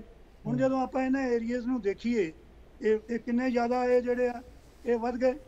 ਔਰ ਉਹਦੇ ਨਾਲ ਕੀ ਹੋਇਆ ਕਿ ਰਾਈਸ ਕਲਟੀਵੇਸ਼ਨ ਨੇ ਜਿਹੜਾ ਆਪਣਾ ਪਾਣੀ ਸੀਗਾ ਜੀ। ਸਾਰਾ ਜਿਹੜਾ ਉਹ ਖਿੱਚ ਲਿਆ ਤੇ ਉਹ ਜਿਹੜਾ ਕੰਮ ਆ ਸਟਾਰਟ ਹੋ ਗਿਆ। ਹੁਣ ਇਹਨਾਂ ਨੂੰ ਅਗਰ ਵਾਪਸ ਕਰਨਾ ਹੋਵੇ ਤੇ ਸਿਸਟਮ ਹੈ ਗਿਆ ਅੱਗੇ ਆਪਾਂ ਚੱਲ ਕੇ ਦੇਖਦੇ ਹਾਂ ਕਿ ਉਹਦੇ ਚ। ਅਸੀਂ ਹੋਰ ਕੀ ਕਰ ਸਕਦੇ? ਜੀ ਜੀ। ਇੱਕ ਕੁਐਸਚਨ ਖੜਾ ਹੋ ਗਿਆ ਬਾਜਵਾ ਸਾਹਿਬ ਵੀ ਉਦੋਂ ਤਾਂ ਚਲੋ ਸਮੇਂ ਦੀ ਜ਼ਰੂਰਤ ਆਪਾਂ ਪਰਿਵਾਰਾਂ 'ਚ ਵੀ ਦੇਖ ਲੈਂਦੇ ਆ ਕਿ ਇਸ ਵਕਤ ਜੋ ਹੈ ਪੈਸੇ ਦੀ ਜ਼ਰੂਰਤ ਹੈ। ਚਲੋ ਆਪਾਂ ਐ ਕਰਦੇ ਆ ਕਿ ਇੱਕ ਅੱਧਾ ਕੋਈ ਪਲਾਟ ਪਿਆ ਜਾਂ ਕਿੱਦਾਂ ਉਹ ਕੱਢ ਦਿੰਨੇ ਆ ਜਾਂ ਫਿਰ ਕੋਸ਼ਿਸ਼ ਕਰਦੇ ਆ ਕਿ ਅਸੀਂ ਕਿਤੋਂ ਕਰਜ਼ਾ ਫੜ ਲਈਏ। ਉਹ ਜਦੋਂ ਗ੍ਰੀਨ ਰੈਵੋਲੂਸ਼ਨ ਆਇਆ ਉਦੋਂ ਇਹ ਜ਼ਰੂਰਤ ਸੀਗੀ ਕਿ ਪੂਰੀ ਕੰਟਰੀ ਦੇ ਵਿੱਚ ਅਨਾਜ ਚਾਹੀਦਾ ਸੀ, ਕਣਕ ਵੀ ਚਾਹੀਦੀ ਸੀ, ਝੋਨਾ ਵੀ ਚਾਹੀਦਾ ਸੀ। ਹਾਲਾਂਕਿ ਝੋਨਾ ਆਪਣੇ ਨਾਰਥ ਇੰਡੀਆ 'ਚ ਘੱਟ ਖਾਏ ਜਾਂਦੇ, ਚੌਲ ਘੱਟ ਖਾਏ ਜਾਂਦੇ ਆ। ਪਰ ਹੁਣ ਆਪਾਂ 21ਵੀਂ ਸਦੀ ਦੇ ਵਿੱਚ ਹਾਂ 2021 ਆਪਾਂ ਦੇਖ ਰਹੇ ਹਾਂ, ਜੋ ਟਾਈਮ ਨਿਕਲ ਗਿਆ ਨਿਕਲ ਗਿਆ। ਮੇਰਾ ਬਾਜਾ ਸਾਹਿਬ ਕੁਐਸਚਨ ਇਹ ਆ ਕਿ ਹੁਣ ਤਾਂ ਗਵਰਨਮੈਂਟਾਂ ਸੁਚੇਤ ਹੋ ਕੇ ਬਜਾਏ ਕਿ ਇਕੱਠੇ ਹੀ ਕਿਸੇ ਤੇ ਤਿੰਨ ਕਾਨੂੰਨ ਥੋਪਣ ਦੇ, ਬਜਾਏ ਕਿ ਇਹ ਕਿ ਕੋਈ ਵਰਕਸ਼ਾਪ ਲਾ ਦਿੰਦੇ, ਜਿੱਦਾਂ ਖਾਸ ਕਰਕੇ ਪੀਆਈਯੂ ਲੁਧਿਆਣਾ ਹੈਗੀ ਹੈ ਜਿੱਦਾਂ। ਉੱਥੇ ਵਰਕਸ਼ਾਪ ਲਾਉਂਦੇ, ਸਾਰੇ ਕਿਸਾਨ ਆਗੂਆਂ ਨੂੰ ਵੀ ਸਾਦੇ, ਇੱਕ ਨਹੀਂ, ਦੋ ਨਹੀਂ, ਤਿੰਨ ਨਹੀਂ, ਚਾਰ ਲਾਉਂਦੇ। ਉਹ ਉਹਦੇ ਵਿੱਚ ਲਾ ਕੇ ਉਹਨਾਂ ਨੂੰ ਦੱਸਦੇ ਕਿ ਆਹ ਹਾਲਾਤ ਹੈ ਜੇ ਆਪਾਂ ਝੋਨਾ ਛੱਡ ਕੇ ਕਿਤੇ ਹੋਰ ਨਹੀਂ ਜਾਂਦੇ, ਤਾਂ ਆਉਣ ਵਾਲੇ 20 30 ਸਾਲਾਂ ਤਾਈਂ ਆਹ ਹਾਲਾਤ ਹੋ ਜੂਗੇ। ਜਿੰਨੇ ਆਪਾਂ ਫਰਟੀਲਾਈਜ਼ਰ, ਜਿੰਨਾ ਆਪਾਂ ਯੂਜ਼ ਕਰ ਰਹੇ ਹਾਂ, ਉਹਦੀ ਬਿਮਾਰੀ ਕਿੰਨੀ, ਜਿੰਨੀ ਵੱਧ ਰਹੀ ਹੈ, ਉਹ ਡਾਕਟਰ ਸਾਹਿਬ, ਉਸ ਚੀਜ਼ ਦੀ ਵਰਕਸ਼ਾਪ ਲਾ ਕੇ ਲੋਕਾਂ ਨੂੰ ਜਾਗਰੂਕ ਕੀਤਾ ਜਾਂਦਾ, ਤੇ ਫਿਰ ਇਹ ਚੇਂਜਸ ਲਿਆਂਦੀਆਂ ਜਾਂਦੀਆਂ, ਬੈਟਰ ਨਾ ਹੁੰਦੀਆਂ? ਹਾਂਜੀ, ਉਹ ਤਾਂ ਬਿਲਕੁਲ ਗੱਲ ਠੀਕ ਹੈ। ਇਹ ਜਿਹੀਆਂ ਵਰਕਸ਼ਾਪਸ ਹੋਈਆਂ ਵੀ ਬਹੁਤ ਹੈ। ਐਕਸਪਰਟਸ ਦੀ ਇਹਦੇ ਚ ਇੱਕ ਕਮੀ ਨਹੀਂ ਹੈ। ਉਹਨਾਂ ਨੇ ਬੜੀਆਂ ਪਾਲਿਸੀਆਂ ਟਾਈਮ ਟੂ ਟਾਈਮ ਦੱਸੀਆਂ। ਆਪਾਂ ਡਾਕਟਰ ਸਰਦਾਰਾ ਸਿੰਘ ਹਰਾਂ ਨੂੰ ਵੀ ਕਈ ਵਾਰੀ ਸੁਣਦੇ ਰਹਿੰਦੇ ਆ ਜੀ ਜੀ ਮੇਰਾ ਵੀ ਇਹਨਾਂ ਲੋਕਾਂ ਨਾਲ ਗੁਜ਼ਾਰੇ ਜਿੰਨਾ ਕੰਟੈਕਟ ਰਹਿੰਦਾ ਹੈ। ਜੀ। ਪਰ ਉਹ ਜਦੋਂ ਪਾਲਿਸੀ ਤਾਂ ਉਹੀ ਗੁੱਡ ਹੈ ਨਾ ਜੀ ਜੇ ਅੱਗੋਂ ਉਹਨੂੰ ਕੋਈ ਇੰਪਲੀਮੈਂਟ ਕਰੇ ਜਾਂ। ਉਹਨੂੰ ਕੋਈ ਸੁਣੇ। ਇਹਦੇ ਵਿੱਚ ਕਈ ਚੀਜ਼ਾਂ ਆ ਜਾਂਦੀਆਂ। ਅੱਜ ਟਾਈਮ ਤਾਂ ਬਹੁਤ ਘੱਟ ਹੈ। ਵੋਟ ਪੋਲਿਟਿਕਸ ਹੈ ਦੂਜੀ ਹੈ। ਇਕਾਨਮੀ ਹੈ। ਹੁਣ ਸੋਲੂਸ਼ਨ ਜਿਹੜੇ ਸੀਗੇ ਉਹਨਾਂ ਨੂੰ ਕਰਨ ਵਾਸਤੇ ਨਾਰਥ ਇੰਡੀਆ ਅੱਜ ਕੱਲ ਬੜੀ ਪ੍ਰੀਕੇਰੀਅਸ ਕੰਡੀਸ਼ਨ 'ਚ ਹੈ। ਇਹ ਜਿਹੜੀ ਡਬਲ ਪ੍ਰੋਬਲਮ ਸੀਗੀ ਅਨਸਟੇਬਲ ਇਨਕਮ ਦੀ ਤੇ ਪਾਣੀ ਦੇ ਘਾਟੇ ਦੀ ਇਹਨੂੰ ਜਿਹੜਾ ਐਡਰੈਸ ਕਰਨਾ ਹੈ ਤਾਂ ਬਹੁਤ ਜ਼ਰੂਰੀ। ਪਰ। ਇਹਨੂੰ ਕਰਨਾ ਕਿਵੇਂ ਹੈ? ਸਿਚੁਏਸ਼ਨ ਇਹ ਹੈ ਨਾ। ਜ਼ਿਮੀਦਾਰ ਹਰਟ ਹੋਵੇ ਨਾ ਗਵਰਨਮੈਂਟ ਤੇ ਕੋਈ ਬਰਡਨ ਪਵੇ। ਤਾਂ ਉਹ ਚੀਜ਼ਾਂ ਹੈ ਦੇਖਣ ਵਾਲੀਆਂ ਔਰ ਜਿਹੜੀਆਂ ਕਿ ਅੱਗੇ ਚੱਲ ਕੇ ਆਪਾਂ ਦੇਖਦੇ ਹਾਂ। ਜੀ ਜੀ ਜੀ।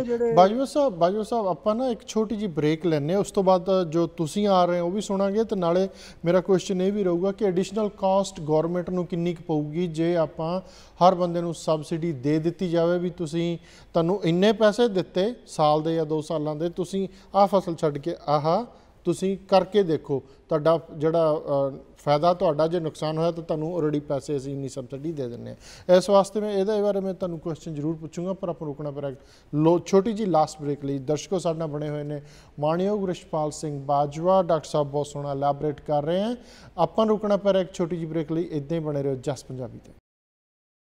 ਸਵਾਗਤ ਜੀ ਤੁਹਾਡਾ ਸਾਰਿਆਂ ਦਾ ਫੇਰ program open platform Jas Punjabi ਦੇ ਮੰਚ ਤੋਂ ਦਰਸ਼ਕੋ, ਮੈਂ ਤੁਹਾਡਾ ਗੁਰਲਾਲ, ਤੁਹਾਡੇ ਰੂਬਰੂ ਹਾਂ ਟਿਊਜ਼ਡੇ ਵੈਨਸਡੇ ਥਰਸਡੇ ਸ਼ਾਮ ਨੂੰ 9 ਵਜੇ ਪੈਸੀਫਿਕ ਟਾਈਮ ਸਾਡੇ ਕੈਲੀਫੋਰਨੀਆ ਸਟੂਡੀਓ ਤੋਂ ਆਪਣੇ ਨਾਲ ਜੁੜੇ ਹੋਏ ਨੇ ਮਾਨਯੋਗ ਡਾਕਟਰ ਇਸ਼ਪਾਲ ਸਿੰਘ ਬਾਜਵਾ ਜੀ, ਬਹੁਤ ਹੀ ਵਧੀਆ ਐਲੈਬੋਰੇਟ ਕਰ ਡਾਕਟਰ ਸਾਹਿਬ, ਜਿਹੜੀ ਮੈਂ ਤੁਹਾਨੂੰ ਗੱਲ ਪੁੱਛੀ ਸੀਗੀ ਕਿ ਗਵਰਨਮੈਂਟ ਨੂੰ ਇਹਦੇ ਵਿੱਚ ਕਿੰਨਾ ਕੁ ਕਾਸਟ ਗਵਰਨਮੈਂਟ ਤੇ ਪਊਗੀ ਜੇ ਹਾਲਾਸ਼ੇਰੀ ਮਾਰਨ ਤੇ ਕ੍ਰਾਪ ਚੇਂਜ ਕਰਕੇ ਲੋਕਾਂ ਨੂੰ ਦੇ ਦੇਣ ਵੀ ਜੇ ਤਾਂ ਫਾਇਦਾ ਹੋਇਆ ਤੁਹਾਡਾ ਨੁਕਸਾਨ ਹੋਇਆ ਤਾਂ ਅਸੀਂ ਤੁਹਾਨੂੰ ਸਬਸਿਡੀ ਦੇਵਾਂਗੇ। ਤੇ ਉਸ ਕੀ ਗਵਰਨਮੈਂਟ ਕਰ ਵੀ ਸਕਦੀ ਹੈ ਕਿ ਨਹੀਂ? ਜੀ। ਹਾਂਜੀ ਗੁਰਲਾਲ ਜੀ ਐਕਚੁਅਲੀ ਇੱਕ ਸਟੱਡੀ ਕੱਢੀ ਹੈ। ਜੀ। ਇੰਡੀਆ ਦੇ ਵਿੱਚੋਂ ਹੀ। ਉਹਨੂੰ ਮੈਂ ਪੜ੍ਹਦਾ ਸੀ। It's almost cost neutral cost neutral ਦਾ ਮਤਲਬ ਹੈ ਇਹਨਾਂ ਨੂੰ ਤਰੀਕੇ ਨਾਲ ਸਵਿਚ ਕਰੋ ਗਵਰਨਮੈਂਟ ਦਾ ਕੋਈ ਪੈਸਾ ਨਹੀਂ ਲੱਗੇਗਾ ਜੀ, ਜੀ। ਐਗਜ਼ਾਮਪਲ ਦਿੱਤੀ ਹੈ ਵੀ 1900 2019 ਤੇ 2020 ਦੇ ਵਿੱਚ ਟੋਟਲ ਰਾਈਸ ਪੈਦਾ ਹੋਏ ਪੰਜਾਬ ਤੋਂ ਨਾਰਥ ਇੰਡੀਆ ਵਾਲੇ ਪਾਸਿਓਂ 5 520 ਲੱਖ ਟਨ ਹੂੰ। 44% ਜਿਹੜੀ ਕਣਕ ਹੋਈ ਉਹ 340 ਲੱਖ ਟਨ 32% ਜਿਹੜਾ। ਕੋਰਸ ਗ੍ਰੇਨ ਹੋਇਆ ਉਹ ਹੋਇਆ ਕੋਈ 4.5 ਲੱਖ ਟਨ ਜਿਹੜਾ ਕਿ ਸਿਰਫ 0.1% ਜੀ। ਹੁਣ ਆਪਾਂ ਇਹਦੀ ਐਗਜ਼ਾਮਪਲ ਲੈਨੇ ਜੀ ਜੀ। ਅਗਰ ਜਿਹੜੇ ਰਾਈਸ ਸੀਗੇ ਉਹ 1825 ਰੁਪਏ ਕੁਇੰਟਲ ਵਿਕੇ ਸੀ। ਜਿਹੜਾ ਬਾਜਰਾ ਕੋਰਸ ਗ੍ਰੋਨ ਸੀ ਕੋਰਸ ਗ੍ਰੇਨ ਉਹਨਾਂ ਦੀ ਜਿਹੜੀ ਐਗਜ਼ਾਮਪਲ ਸੀ ਉਹ 2150 ਦੇ ਲਾਗੇ ਚਾਗੇ ਸੀ। ਅਗਰ ਹੁਣ ਇਹਨਾਂ ਇਹਨਾਂ ਚੀਜ਼ਾਂ ਨੂੰ ਅਸੀਂ ਦੇਖ ਲਈਏ ਇਹਨਾਂ ਦੀਆਂ ਕੀਮਤਾਂ ਕਰ ਲਈਏ ਤੇ ਜੇ ਅਸੀਂ 2 ਸਾਲਾਂ ਦੇ ਵਿੱਚ ਜੇ 40 ਲੱਖ ਟਨ ਜਿਹੜਾ ਰਾਈਸ ਹੈ ਉਹਨੂੰ। ਘੱਟ ਕਰੀਏ ਜੀ ਜੀ। ਔਰ ਜਿਹੜਾ ਕੋਰਸ ਗ੍ਰੇਨ ਹੈ ਉਹਨੂੰ ਅਸੀਂ 34 ਲੱਖ ਟਨ 10 ਸਾਲ ਦੇ ਰੇਟ ਤੇ 2 ਸਾਲਾਂ 'ਚ ਜੇ ਅਸੀਂ ਉਹਨੂੰ ਵਧਾਈਏ ਇਹਨਾਂ ਦਾ ਜਿਹੜਾ ਲੇਖਾ ਜੋਖਾ ਪੈਸਿਆਂ ਦਾ ਉਹ ਬਰਾਬਰ ਹੋ ਜਾਂਦਾ। ਹੂੰ ਸੋ ਇਹ ਜਿਹੜੀ ਹੁਣ steady increase in the area of production ਇਹਨੂੰ ਕਰਨਾ ਹੈ। ਇਹਦੀ। ਗਵਰਨਮੈਂਟ ਦੀ ਜਿਹੜੀ ਹੈ ਉਹ ਪਾਲਿਸੀ ਚਾਹੀਦੀ ਹੈ ਉਹਨਾਂ ਦੀ ਹਲਾਸ਼ੇਰੀ ਚਾਹੀਦੀ ਹੈ। ਵੀ ਜੇ ਕਿਤੇ ਤੁਹਾਨੂੰ ਥੋੜਾ ਬਹੁਤ ਇਹਦੇ ਚ ਕਮੀ ਹੋਈ ਤੇ ਤੁਹਾਨੂੰ ਅਸੀਂ ਇੱਥੇ ਕੰਪਨਸੇਟ ਕਰ ਦਿਆਂਗੇ। ਤੋ ਰਾਈਸ ਨੂੰ ਘਟਾ ਦਿਓ ਕੋਰਸ ਗ੍ਰੇਨ ਨੂੰ ਵਧਾ ਦਿਓ। ਔਰ ਜਿਹੜਾ ਕੋਰਸ ਗ੍ਰੇਨ ਹੈ ਇਹਨਾਂ ਦੇ ਹੋਰ ਫਾਇਦੇ ਬਹੁਤ ਹੈ। ਜੀ ਜੀ ਜੀ।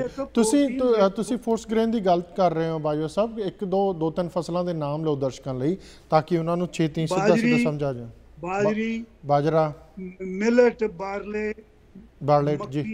ਜੀ। ਜਿਹੜੀ ਜਵਾਰ ਇਹ ਜਿਹੜੀਆਂ ਦੂਜੀਆਂ ਚੀਜ਼ਾਂ ਹੈ ਚਾਰ ਪੰਜ ਚਣੇ ਗ੍ਰਾਮਸ ਬੇਸਿਕਲੀ ਬੇਸਿਕਲੀ ਤੁਸੀਂ ਉਹਨਾਂ ਉਹਨਾਂ ਫਸਲਾਂ ਦੀ ਗੱਲ ਕਰ ਰਹੇ ਹੋ ਜਿਹੜੇ ਬਰਾਨੀ ਏਰੀਆ 'ਚ ਹੁੰਦੀਆਂ ਤੇ ਘੱਟ ਘੱਟ ਘੱਟ ਪਾਣੀ ਲੈਂਦੇ ਆ। ਜੀ ਜੀ ਜੀ। ਮੇਨ ਤਾਂ ਆਪਣਾ ਪਰਪਸ ਇਹ ਹੈ ਕਿ ਪਾਣੀ ਤੋਂ ਬਚਾਉਣਾ ਜ਼ਮੀਨ ਨੂੰ ਵੀ ਬਚਾਉਣਾ এনवायरमेंट ਨੂੰ ਜੀ ਜੀ ਜੀ ਜੀ ਜੀ। ਜੀ ਅੱਗੇ। ਅੱਗੋਂ ਅਸੀਂ ਚੱਲਦੇ ਸੀ ਵੀ ਇਹ ਜਿਹੜੇ ਗ੍ਰੇਨਸ ਆ ਇਹ ਤਾਂ ਬੜੀ ਇੱਕ ਇੰਪੋਰਟੈਂਟ ਹੈ।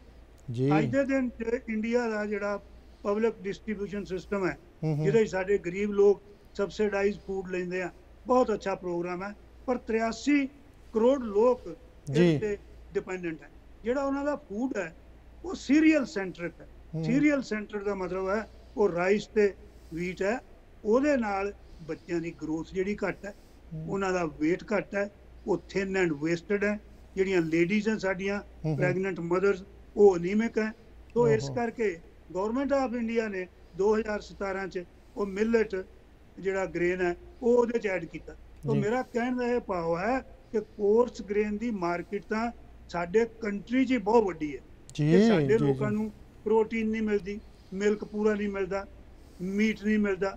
ਇਸ ਕਰਕੇ ਜਿਹੜਾ ਗਰੀਬ ਆਦਮੀ ਹੈ ਡਾਕਟਰ ਸਾਹਿਬ ਡਾਕਟਰ ਸਾਹਿਬ ਮੈਂ ਮੈਂ ਮੈਂ ਸਿੱਧੇ ਸ਼ਬਦਾਂ 'ਚ ਦਰਸ਼ਕਾਂ ਨੂੰ ਕਲੀਅਰ ਕਰਦਾ ਡਾਕਟਰ ਸਾਹਿਬ ਕਿ ਤੁਸੀਂ ਬਹੁਤ ਸੋਹਣਾ ਐਲੈਬੋਰੇਟ ਕੀਤਾ ਕਿ ਕਣਕ ਤੇ ਝੋਨੇ ਨੂੰ ਛੱਡ ਕੇ ਜਿਹੜੀਆਂ ਫੋਰਸ ਜਿਹੜੀਆਂ ਗ੍ਰੇਨ ਜਿਹੜੀਆਂ ਤੁਸੀਂ ਦੱਸ ਰਹੇ ਹੋ ਬਾਜਰਾ ਮੱਕੀ ਜਵਾਰ ਇਹ ਬਹੁਤ ਜ਼ਰੂਰੀ ਹੈ ਪ੍ਰੋਟੀਨ ਵਾਸਤੇ ਵੀ ਤੇ ਖਾਸ ਕਰਕੇ ਬਹੁਤ ਵੱਡੀ ਮਾਰਕੀਟ ਆ ਔਰ ਇਹਨਾਂ ਦੇ ਉੱਤੇ ਜੇ ਗੁੱਡ ਪ੍ਰਾਈਸ ਦੇ ਦਿੱਤੀ ਜਾਵੇ ਤਾਂ ਫਸਲਾਂ ਆਪਣੇ ਪਾਣੀ ਵੀ ਘੱਟ ਯੂਜ਼ ਹੋਊਗਾ ਤੇ ਜ਼ਮੀਨ ਵੀ ਬਰਬਾਦ ਹੋਣੋਂ ਬਚੂਗੀ ਕਿਉਂਕਿ ਉਹ ਇੰਨਾ ਜ਼ੋਰ ਨਹੀਂ ਲਾਉਂਦੇ ਤੇ ਇਹ ਇਸ ਚੀਜ਼ ਨੂੰ ਆਪਣੀ ਜ਼ਰੂਰਤ ਵੀ ਕੰਟਰੀ ਵਿੱਚ ਬਹੁਤ ਹੈ ਇਹ ਤੁਸੀਂ ਕਹਿ ਰਹੇ ਹੋ ਜਿਹੜਾ ਮੈਂ ਵੀ ਨੋਟ। ਕੀਤਾ ਜੀ ਅੱਗੇ ਮੇਰਾ ਇੱਕ ਕੁਐਸਚਨ ਹੈ ਬਾਜਵਾ ਸਾਹਿਬ ਕਿ ਐਮਐਸਪੀ ਜੇ ਕੱਲੀ ਐਮਐਸਪੀ ਆ ਜਿਹੜੀਆਂ ਫੋਰਸ ਗ੍ਰੇਨ ਇਹਨਾਂ ਤੇ ਗਵਰਨਮੈਂਟ ਸੈੱਟ ਕਰ ਦੇਵੇ ਵਿਲ ਦੈਟ ਹੈਲਪ ਕਿ ਉਹ ਮਦਦ ਕਰੂਗੀ ਇਹਨਾਂ ਸਾਰੀਆਂ ਚੀਜ਼ਾਂ ਨੂੰ? ਦੇਖੋ ਦੋ ਇਹਦੇ 'ਚ ਦੋ ਚੀਜ਼ਾਂ ਹੈ।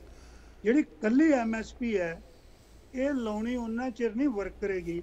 ਜਿੰਨਾ ਚਿਰ ਅਸੀਂ ਇਹ ਗਰੰਟਡ ਜਿਹੜੀ ਪ੍ਰੋਕਿਉਰਮੈਂਟ ਹੈ ਜਾਂ ਜਿਹੜੀ ਉਹਦੀ ਸੇਲ ਹੈ ਔਰ ਸੇਲ ਉਸ ਪ੍ਰਾਈਸ ਤੇ ਜਿਹੜੀ ਜ਼ਿਮੀਦਾਰ ਨੂੰ ਵਾਰਾ ਖਾਂਦੀ ਹੋਵੇ ਔਰ ਉਹਨੂੰ ਕੋਈ ਉਹਦੇ 'ਚ ਮੁਨਾਫਾ ਮਿਲੇ। ਜਿਵੇਂ ਕਿ ਅਸੀਂ ਇੰਨੀ ਦੇਰ ਤਾਂ ਇਸ ਕੰਮ 'ਚ ਚੱਲਦੇ ਰਹੇ ਵੀ ਐਮਐਸਪੀ ਸਵਾਮੀਨਾਥਨ ਫਾਰਮੂਲੇ ਨਾਲ ਦੇ ਦਿਓ ਕਾਸਟ ਪਲੱਸ ਹੂੰ। 50% ਪ੍ਰੋਫਿਟ ਹੁਣ ਅਸੀਂ ਉਹਨੂੰ ਇੱਕਦਮ ਛੱਡ ਕੇ ਕਹਿੰਦੇ ਆ ਬਈ ਇਹ ਬਈ ਤੁਸੀਂ ਪ੍ਰਾਈਵੇਟ ਆ ਜਾਓ ਤੇ ਆਪੇ ਹੀ ਤੁਹਾਨੂੰ ਦੇਣਗੇ। ਇਹ ਕਿਉਂ ਨਾ ਚੰਗਾ ਹੋਵੇ ਕਿ ਉਹ ਜਿਹੜੀ ਪ੍ਰਾਈਵੇਟ ਮਾਰਕੀਟ ਆਉਣੀ ਆ ਬੜੀ ਖੁਸ਼ੀ ਨਾਲ ਆਵੇ। ਆਲਰੇਡੀ ਚੱਲਦੀ ਹੈ। ਕੰਟਰੈਕਟ ਫਾਰਮਿੰਗ ਆਲਰੇਡੀ ਚੱਲਦਾ। ਉਹਨਾਂ ਨੂੰ ਇੱਕ ਇਹ ਕਹਿ ਦੇਣ ਕਿ ਆਏ ਸਾਲ 91 ਫਸਲਾਂ ਆਪਣੇ ਕੰਟਰੀ 'ਚ ਗਰੋ ਹੁੰਦੀਆਂ। ਜੀ ਜੀ ਜੀ। ਉਹ 91 ਦੀ ਹੀ ਗਵਰਨਮੈਂਟ ਨੂੰ ਰੈਗੂਲੇਸ਼ਨ ਬਣਾ ਕੇ ਆਏ ਸਾਲ ਉਹਦੀ ਕੀਮਤ ਕੱਢਣੀ ਚਾਹੀਦੀ ਹੈ। ਹੂੰ ਹੂੰ। ਉਹ ਤਾਂ ਜ਼ਿਮੀਦਾਰ ਨੂੰ ਮਿਲਣੀ ਚਾਹੀਦੀ ਹੈ। ਹੂੰ ਹੂੰ ਔਰ ਹੂੰ। ਉਦੋਂ ਅੱਗੇ ਜੇ ਵੱਧ ਚੀਜ਼ ਵਿਕਦੀ ਹੈ ਤੇ ਜ਼ਿਮੀਦਾਰ ਦਾ ਪ੍ਰੋਡਕਟ ਹੈ ਜੀ ਜੀ ਹੈ ਜੀ ਜੀ ਉਹਨੂੰ ਇੱਕ ਮੁਨਾਫਾ ਬਣਾਉਣ ਦਾ। ਸੋ ਇਸ ਕਰਕੇ ਦੋਨੇ ਚੀਜ਼ਾਂ ਇਹ ਇੰਪੋਰਟੈਂਟ ਹੈ। ਔਰ ਇਹ ਜਿਹੜੀਆਂ ਮੱਕੀ ਗਰਾਊਂਡਨਟ ਜਿਹੜੀ ਪੈਡੀ ਹੈ ਉਹ ਜੇ ਹੂੰ ਅਸੀਂ ਪਿਛਲੇ ਸਾਲਾਂ 'ਚ ਦੇਖੀਏ ਤੇ ਸਾਰੀ ਜਿਉਂਦੀ ਇਹ ਚੱਲੀ ਹੈ। ਹੂੰ। ਕਦੀ ਪੂਰੀ ਨਹੀਂ ਮਿਲੀ। ਲੱਖਾਂ ਹਜ਼ਾਰਾਂ ਕਰੋੜ ਦਾ ਡੈਮੇਜ ਜਿਹੜਾ ਹੈ ਕਿਸਾਨ ਨੇ ਚੱਲਿਆ ਫਾਰ ਐਗਜ਼ਾਮਪਲ ਪਿਛਲੇ 2 ਸਾਲਾਂ 'ਚ 1900 ਕਰੋੜ ਇਹਨਾਂ ਤਿੰਨਾਂ ਫਸਲਾਂ ਤੇ ਮਕਈ ਗਰਾਊਂਡਨਟ ਹੂੰ। ਪੈਡੀ ਇਹ 15% ਐਮਐਸਪੀ ਨੂੰ ਘੱਟ ਵਿਕਿਆ। ਜ਼ਿਮੀਂਦਾਰਾਂ ਨੂੰ ਇਹਦੇ ਤੇ ਕੋਈ ਜਿਹੜਾ ਹੈ ਉਹ ਕਾਫੀ ਜ਼ਿਆਦਾ ਇਹਦੇ ਚ ਨੁਕਸਾਨ ਜਿਹੜਾ ਹੋਇਆ। ਕਰੋੜਾਂ ਦਾ ਨੁਕਸਾਨ ਉਹਨਾਂ ਨੂੰ ਹੋਇਆ ਹੂੰ ਹੂੰ ਤੋਂ ਇਸ ਕਰਕੇ ਇਹ ਜਿਹੜੀਆਂ ਚੀਜ਼ਾਂ ਹੈ ਇਹਨਾਂ ਨੂੰ ਬੜਾ ਅਸੀਂ ਧਿਆਨ ਨਾਲ ਵੇਖਣਾ ਪੈਣਾ ਮੈਂ ਤਾਂ ਇਹ ਸੋਚਦਾ ਵੀ ਜ਼ਿਮੀਂਦਾਰ ਇੱਕ ਇਹਨਾਂ ਇਹ ਹੌਸਲੇ ਵਾਲਾ ਇੱਕ ਇਨਸਾਨ ਹੈ ਜਿਹੜਾ ਕਿ ਥੋੜੀ ਜਿਹੀ ਵੀ ਗੁਜ਼ਾਰਾ ਕਰਕੇ ਗੁਜ਼ਾਰਾ ਕਰ ਔਰ ਲੈਂਦੇ ਸਾਰੇ। ਕੰਟਰੀ ਨੂੰ ਜਦੋਂ ਟਰਬਲ ਸੀ ਉਦੋਂ ਕੀਤਾ ਹੂੰ। ਸਾਰੀ ਦੁਨੀਆ ਦੇ ਫਾਰਮਰ ਇੱਕ ਨਹੀਂ ਉਹ ਆਪਣੇ ਇਨਕਮ ਕੱਟ ਕੇ ਤੇ ਲੋਕਾਂ ਦਾ ਫੂਡ ਬਣਾਉਂਦੇ ਆ ਮੈਂ ਤੇ ਇੱਥੇ ਇਹ ਵੀ ਕਹਿਣਾ ਚਾਹੁੰਦਾ ਕਿ ਫੂਡ ਜਿਹੜਾ ਫੂਡ ਹੈ ਇਹਨੂੰ ਫਿਊਲ ਡਿਕਲੇਅਰ ਕਰਨਾ ਚਾਹੀਦਾ। ਰਾਈਟ ਰਾਈਟ ਰਾਈਟ ਕਿਉਂਕਿ ਇਹ ਲੋਕਾਂ ਦਾ ਹੱਕ ਹੈ ਖਾਣ ਦਾ। ਜੀ ਜੀ ਡਾਕਟਰ ਸਾਹਿਬ ਇੱਥੇ ਨਾ ਤੁਸੀਂ ਬਹੁਤ ਸੋਹਣਾ ਇਹ ਪੁਆਇੰਟ ਕਿਹਾ ਕਿ ਇਨਫਿਊਲ ਡਿਕਲੇਅਰ ਕਰਨਾ ਚਾਹੀਦਾ। ਠੀਕ ਹੈ ਮੰਨ ਲਿਆ। ਇੱਥੇ ਦੋ ਚੀਜ਼ਾਂ ਮੇਰੀਆਂ ਆਪਾਂ ਲਾਸਟ 'ਚ ਗੱਲ ਕਰਾਂਗੇ। ਮੇਰੇ ਵੱਲੋਂ ਆਈਆਂ ਕਿ ਇੱਕ ਤਾਂ ਪੀਡੀਐਸ ਸਿਸਟਮ ਦੀ ਤੁਸੀਂ ਗੱਲ ਕੀਤੀ ਸੀ। ਪਿਛਲੇ ਇੱਕ ਹਫ਼ਤੇ ਦੀ ਗੱਲ ਹੈ ਕਰੀਬ ਇੱਕ ਦਿੱਲੀ ਦੇ ਵਿੱਚ ਚਾਰ ਬੱਚੀਆਂ ਭੁੱਖ ਨਾਲ। ਉਹਨਾਂ ਦਾ ਬਾਪ ਕੋਈ ਰਿਕਸ਼ਾ ਜਾਂ ਪਤਾ ਨਹੀਂ ਕੀ ਚਲਾਉਂਦਾ ਸੀ ਬਿਮਾਰ ਹੋ ਗਿਆ। ਭੁੱਖ ਨਾਲ ਦੁਨੀਆ ਛੱਡ ਕੇ ਚਲੇ ਗਈਆਂ ਬਹੁਤ ਹੀ ਸ਼ਰਮਨਾਕ ਗੱਲ ਆ। ਬਹੁਤ ਜ਼ਿਆਦਾ ਆਪਣੇ ਗੁਰਦੁਆਰਾ ਸਾਹਿਬਾਨ ਮੰਦਰ ਹੈਗੇ ਆ ਕਿਤੇ ਜਾਗਰੂਕਤਾ ਦੀ ਕਮੀ ਰਹਿ ਗਈ ਹੈ ਦੂਸਰਾ ਮੇਰਾ ਇੱਕ ਕੁਐਸਚਨ ਹੈ ਕਿ ਮੈਂ ਕਰ ਰਿਹਾ ਸੀਗਾ ਇੰਟਰਵਿਊ ਸੁਰਜੀਤ ਕੁਮਾਰ ਜਾਨੀ ਨਾਲ। ਮਾਣਯੋਗ ਨੇ ਸਾਡੇ ਲਈ। ਉਹ ਕਹਿ ਰਹੇ ਕਿ ਮੋਰਲੇ 4 ਸਾਲਾਂ ਦਾ ਕਿ 6 ਸਾਲਾਂ ਦਾ ਕਣਕ ਦਾ ਕੋਟਾ ਇੰਡੀਆ ਕੋਲ ਪਿਆ ਆ। ਜੇ ਉਹ ਹੈਗਾ ਆ, ਤਾਂ ਫਿਰ ਆ ਜਿਹੜਾ ਬੱਚੇ ਜਿਹੜੇ ਭੁੱਖੇ ਮਰ ਗਏ ਜਾਂ ਬਹੁਤ ਲੋਕ ਆ ਜਿਹੜੇ ਬਾਹਰ ਮੰਗਦੇ ਫਿਰਦੇ ਆ। ਹੋ ਸਕਦਾ ਉਹਨਾਂ ਦੀ ਆਪ ਦੀ ਕੋਈ ਕਮੀ ਰਹਿ ਗਈ ਹੋਵੇ ਜਾਂ ਕਿਦਾਂ, ਪਰ ਦੋ ਵਕਤ ਦਾ ਖਾਣਾ ਤਾਂ ਸਰਕਾਰਾਂ ਮਾਈ-ਬਾਪ ਹੁੰਦੀਆਂ ਜਟਾਉਂਦੀਆਂ। ਜੇ ਆਪਣੇ ਕੋਲ 6 ਸਾਲਾਂ ਦੀ ਕਣਕ ਪਈ ਹੈ, ਤੇ ਅਸੀਂ ਕੋਈ ਇਦਾਂ ਦੇ ਸੈਂਟਰ ਕਿਉਂ ਨਹੀਂ ਖੋਲਦੇ ਕਿ ਉਹ ਬੱਚੇ ਜਾ ਕੇ ਜਾਂ ਉਹ ਜਿਹੜੇ ਬੰਦੇ ਲੋੜਵੰਦ ਹੈ, ਉਹ 6 ਸਾਲਾਂ ਦੀ ਬਜਾਏ ਤੁਸੀਂ ਸਾਲ ਦਾ ਹੀ ਰੱਖੋ। ਹਰੇਕ ਨੂੰ ਦੋ ਵਕਤ ਦਾ ਖਾਣਾ ਤਾਂ ਦਿਓ ਨਾ। ਇਹਦੇ ਵਿੱਚ ਕਮੀ ਕਿੱਥੇ ਹੈ? ਪੂਰੇ ਪੀਡੀਐਸ ਸਿਸਟਮ 'ਚ ਡਾਕਟਰ ਸਾਹਿਬ, ਤੇ ਅਖੀਰ ਦੇ ਵਿੱਚ ਸਮਰਾਈਜ਼ ਤੁਸੀਂ ਇਹਨੂੰ ਕਰ ਲਿਓ। ਆਪਣੇ ਕੋਲ 2-3 ਮਿੰਟ ਦਾ ਟਾਈਮ ਹੀ ਹੈ ਟੋਟਲ ਦੇਖੋ ਜੀ, ਜਿੱਥੋਂ ਤੱਕ ਪੀਡੀਐਸ ਦੀ ਤੁਸੀਂ ਗੱਲ ਕੀਤੀ ਹੈ ਐਫਸੀਆਈ ਕੋਲ ਗਵਰਨਮੈਂਟ ਆਫ ਇੰਡੀਆ ਕੋਲ ਬਹੁਤ ਜ਼ਿਆਦਾ ਸਟਾਕ ਹੈ ਇਹ ਠੀਕ ਗੱਲ। ਔਰ ਕਈ ਵਾਰੀ ਉਹ ਪ੍ਰੋਬਲਮ ਸਟੋਰੇਜ ਵੀ ਕ੍ਰੀਏਟ ਹੋ ਰਹੀ ਹੈ। ਪਰ। ਜ਼ਿਆਦਾ ਫੂਡ ਹੋਣਾ ਕੋਈ ਮਾੜੀ ਗੱਲ ਨਹੀਂ ਹੈ। ਜੀ ਅਗਰ ਦੋ ਸੀਜ਼ਨ ਫੇਲ ਹੋ ਜਾਣ ਜਿਵੇਂ 1941 ਤੋਂ ਲੈ ਕੇ 43 ਤੱਕ ਵੈਸਟ ਬੰਗਾਲ 'ਚ ਪਈ ਸੀਗਾ ਫੋਕਾ ਮਿਲੀਅਨ ਲੋਕ ਸਟਾਰ ਹੋ ਕੇ ਡੈਥ ਨੂੰ ਮਰ ਗਏ ਸੀ। ਪਰ ਜੀ। 2013 14 'ਚ ਵੀ 2 ਸਾਲ ਫਸਲ ਘੱਟ ਹੋਈ ਹੈ। ਪਰ ਅੱਗੋਂ ਆਪਾਂ ਆਉਨੇ ਆ ਵੀ ਇਹਦਾ ਓਵਰਆਲ ਸੋਲੂਸ਼ਨ ਕੀ ਹੈ? ਸੋਲੂਸ਼ਨ ਇਹਦੇ ਕਈ ਨਿੱਕੇ ਨਿੱਕੇ ਪੁਆਇੰਟ ਹਨ ਜਿਹੜੇ ਸਾਨੂੰ ਐਡਰੈਸ ਕਰਨੇ ਚਾਹੀਦੇ ਜੀ। ਇੱਕ ਤਾਂ ਗਵਰਨਮੈਂਟ ਨੂੰ ਇੱਕ ਬੜੀ ਕ੍ਰੀਏਟਿਵ ਐਗਰੀਕਲਚਰ ਪਾਲਿਸੀ ਬਣਾਉਣੀ ਚਾਹੀਦੀ ਹੈ। ਐਗਰੀਕਲਚਰ ਐਕਸਪਰਟਸ ਦੀ ਸਲਾਹ ਨਾਲ ਫਾਰਮਰ ਲੀਡਰ ਨੂੰ ਬਾ ਕੇ ਔਰ। ਗਵਰਨਮੈਂਟ ਦੇ ਨੁਮਾਇੰਦੇ ਬਹਿ ਕੇ। ਤੇ ਉਹਨਾਂ ਦਾ ਮੇਨ ਏਮ ਇਹ ਹੋਣਾ ਚਾਹੀਦਾ ਵੀ ਅਸੀਂ ਇਹ ਕ੍ਰਾਈਸਿਸ ਸਾਲਵ ਕਰਨੀ। ਦੇਖੋ ਮੈਂ ਕਿਤੇ ਪੜ੍ਹਦਾ ਸੀ ਚਾਈਨਾ ਦੀ ਗਵਰਨਮੈਂਟ ਕਿਸੇ ਦਿਨ ਫਿਰ ਗੱਲ ਕਰਾਂਗੇ। ਹੂੰ ਹੂੰ। ਉਹਨਾਂ ਨੇ 5-5 ਸਾਲ ਦਾ ਰਿਵਿਊ ਰੱਖਿਆ। ਹੂੰ ਹੂੰ ਉਹਨਾਂ ਨੇ 2003 ਚ 2030 ਤੱਕ ਜਿਹੜੀ ਸੀ ਪਲਾਨ ਕੀਤੀ ਸੀ। ਫਿਰ ਉਹਨੂੰ ਉਹ ਰਿਵਿਊ ਕਰ। ਤੋ ਇਸ ਕਰਕੇ ਇੱਕ ਤਾਂ ਸਾਨੂੰ ਉਹ ਪਾਲਿਸੀ ਬਹੁਤ ਚੰਗੀ ਬਣਾਉਣੀ ਚਾਹੀਦੀ ਹੈ ਔਰ ਦੁਬਾਰਾ ਸਾਡੇ ਇੰਡੀਆ ਦੀ ਐਗਰੀਕਲਚਰ ਯੂਨੀਕ ਹੈ। 83% ਸਮਾਲ ਫਾਰਮਰ ਹੈ ਮਾਰਜਨਲ ਫਾਰਮਰ ਹੈ ਜਿਨ੍ਹਾਂ ਕੋਲ ਅੱਧਾ ਏਕੜ ਤੋਂ ਲੈ ਕੇ ਡੇਢ ਏਕੜ ਤੱਕ ਜ਼ਮੀਨ ਹੈ। ਹੂੰ ਹੂੰ ਔਰ 60% ਜਿਹੜੀ ਪਾਪੂਲੇਸ਼ਨ ਹੈ ਇੰਡੀਆ ਦੀ ਉਹ ਇਹਦੇ 'ਚ ਕੰਮ ਕਰਦੀ ਹੈ। ਮੈਂ ਕਹਿੰਦਾ ਵੀ ਅਗਰ ਤੁਸੀਂ ਐਗਰੀਕਲਚਰ ਲਾਓ ਪ੍ਰਾਈਵੇਟ ਲਾਓ। ਜੀ ਉਹ ਜੀ। ਪ੍ਰਾਈਵੇਟ ਮੈਕਨਾਈਜ਼ ਦੇ ਨਾਲ ਤਾਂ ਬੜੇ ਲੋਕ ਵਿਹਲੇ ਹੋ ਹੂੰ। ਉਹਨਾਂ ਦਾ ਐਗਜ਼ਿਟ ਜਿਹੜਾ ਹੈ ਉਹ ਕਿਤੇ ਬਰਾਬਰ ਕਰੋ। ਜੀ ਜੀ। ਇਹ ਆਪਾਂ ਗੱਲ ਪਹਿਲਾਂ ਇਹ ਇਹ ਕਰ ਚੁੱਕੇ ਹਾਂ। ਬਸ ਬਾਜੋ ਸਾਹਿਬ ਆਪਣੇ ਕੋਲ ਇਸ ਦੋ ਤੋਂ ਢਾਈ ਮਿੰਟ ਹੀ ਆ ਪੂਰਾ ਸਮਰਾਈਜ਼ ਕਰੋ ਤਾਂ ਫਿਰ ਆਪਾਂ ਕਿਸ ਦਿਨ। ਸੈਸ਼ਨ ਫੇਰ ਲਾਵਾਂਗੇ ਇੱਕ ਦੋ ਹਫ਼ਤਿਆਂ ਤਾਈਂ ਹਾਂਜੀ।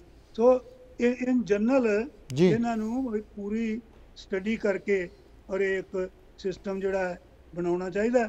ਹੁਣ ਗੱਲ ਕੀ ਹੈ ਕਿ ਜ਼ਿਮੀਂਦਾਰ ਤਾਂ ਲੀਗਲਾਈਜ਼ ਕਹਿੰਦੇ ਆ ਐਮਐਸਪੀ ਨੂੰ ਕਰੋ। ਗਵਰਨਮੈਂਟ ਕਰਦੀ ਹੈ ਅਸੀਂ ਕਰ ਨਹੀਂ ਸਕਦੇ ਤੋਂ ਇਹ ਗੱਲ ਬਹੁਤ ਲੰਮੀ ਤੇ ਨਹੀਂ ਚੱਲ ਸਕਦੀ ਇਹ- ਇਹਨੂੰ ਸਾਲਵ ਤਾਂ ਕਰਨਾ ਪਏਗਾ ਔਰ। ਸਾਲਵ ਕਰਨ ਦੇ ਨਾਲ ਬੜੀ ਇੱਕ ਆਨੈਸਟ ਡਿਸਕਸ਼ਨ ਹੋਣੀ ਚਾਹੀਦੀ ਹੈ। ਔਰ ਡਿਸਕਸ਼ਨ ਇਹ ਉਨੀ ਦੇਰ ਤੱਕ ਹੀ ਹੋਣੀ ਚਾਹੀਦੀ ਹੈ ਜਿੰਨਾ ਚਿਰ ਇਹਦਾ ਸੋਲੂਸ਼ਨ ਨਹੀਂ ਹੁੰਦਾ। ਇੱਕ ਮੈਂ ਹੋਰ ਗੱਲ ਕਹਿ ਸਕਦਾ ਅੱਜ ਕੱਲ ਉਹ ਬੜੀ ਉੱਥੇ। ਗੱਲ ਚੱਲ ਰਹੀ ਹੈ ਮੇਰਾ ਆਪਣਾ ਓਪੀਨੀਅਨ ਹੂੰ ਕਿ ਜਿਹੜੇ ਫਾਰਮਰਸ ਹੈ ਉਹਨਾਂ ਨੂੰ ਕੋਈ ਪੋਲੀਟੀਕਲ ਪਾਰਟੀ ਬਣਾਉਣ ਦੀ ਲੋੜ ਨਹੀਂ ਹੈ। ਇਹ ਇੱਕ ਸੰਗਠਨ ਆ। ਇਹ ਕੋਈ ਵੀ ਗਵਰਨਮੈਂਟ ਆਵੇ ਇਹ ਹਮੇਸ਼ਾ ਵਾਸਤੇ ਉਹਨਾਂ ਕੋਲੋਂ ਆਪਣੀਆਂ ਪਾਲਿਸੀਜ਼ ਜਿਹੜੀਆਂ ਇਹ ਰੀਟੂਲ ਰੀਸਟਰਕਚਰ ਕਰਾਉਂਦੇ ਰਹਿਣ। ਅਗਰ ਇਹਨਾਂ ਦੀ ਗਵਰਨਮੈਂਟ ਬਣ ਵੀ ਜਾਂਦੀ ਹੈ ਉਹ ਅਗਰ 273 ਐਮਪੀ ਮਿਨੀਮਮ ਚਾਹੀਦੇ ਆ।